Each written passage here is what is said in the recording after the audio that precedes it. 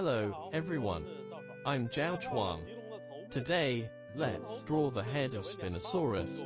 We can consider the head of Spinosaurus was composed of two parts, the slender snout part, and the round and large rear part. When drawing its head, pay attention to the shape. The front should be thin and long. From the position where the teeth ended, the head suddenly became broader in the shape of a triangle. Besides, there are several things we should pay attention to. One is the growth direction of the teeth, which is a characteristic of Spinosaurus. When it closed its mouth, the upper and lower teeth could interlock together, so there would be a notch at the front of the upper jaw, and a corresponding arc on the lower jaw. Therefore, Around this bending area, its teeth radiated outward along this arc, and we need to be careful about the angle as well. Now, let's draw the head of Spinosaurus.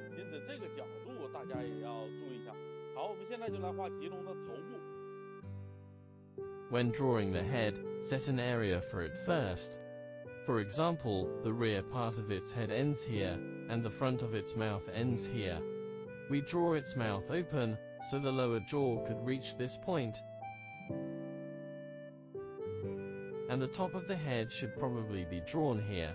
Once these reference points are located, we can start by drawing its mouth. The Spinosaurus mouth was quite slender. The front part of its mouth was relatively straight, so draw this part first. This was the maxilla. The upper part of the Spinosaurus snout consisted of two parts, one was the maxilla, and the other was the premaxilla, which was the front part. There was a big notch between the premaxilla and the maxilla, which helped it trap the fish while hunting. We can draw the teeth directly on the premaxilla. There were seven teeth on the premaxilla, the three in the middle were small. Among the other four, these two were larger, and the one at the foremost was relatively small. Then moving backward, there was a chain of teeth, which were arranged in an arc like a circular saw.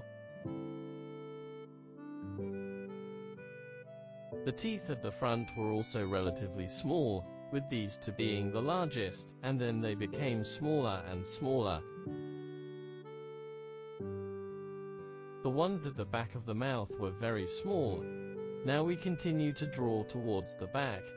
This part is flat, but then it suddenly slopes down, because the head of Spinosaurus suddenly became very wide at the rear half. Then, we draw the front part of its upper jaw. Its eyes were located here.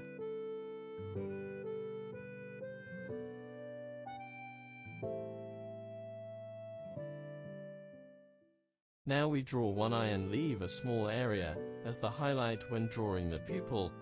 There was a lacrimal horn above the eye. Between the lacrimal horns, there was a raised crest. The crest extended obliquely like this.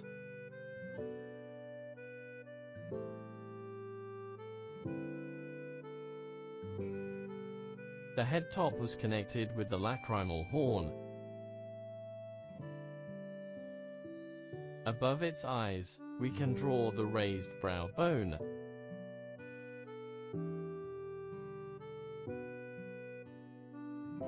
Then draw some soft skin around the eye. In front of the eyes were the antorbital fenestrae, which were soft. Next, let's draw the nostril. Since Spinosaurus was semi-aquatic, its nostrils were very close to the center of the mouth, not at the tip of the nose. Now let's draw its ear. Although there is no fossil evidence for the Spinosaurus ears, we speculate that they might be similar to those of a crocodile. The ears were behind the eyes. Just like modern crocodiles, the Spinosaurus eye, ear, and nostril might line up. In this way, it only needed to lift its head a little for its nostrils to surface. Behind the ear, we draw the rear outline of its head.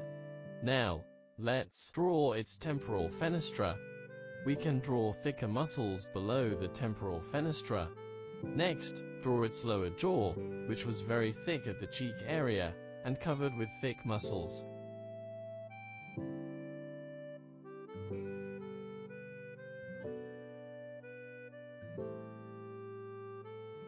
Mouth became slenderer towards the front. There was a structure bulging upward at the tip of the lower jaw. When it closed its mouth, this structure fitted right into the notch and acted like a pincer, tightly gripping soft prey such as fish in its mouth. Next, let's draw the teeth on the lower jaw. Note that there were five larger teeth at the front, which formed the shape of a gear wheel. Then draw its masseter muscles.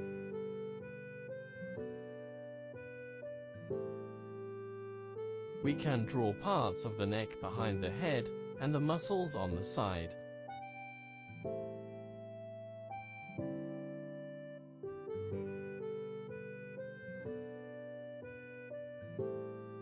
There might be some loose skin between the muscles and the neck.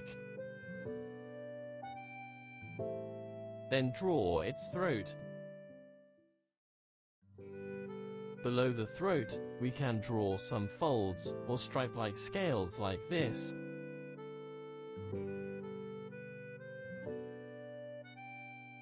Good, we've finished drawing the head of Spinosaurus.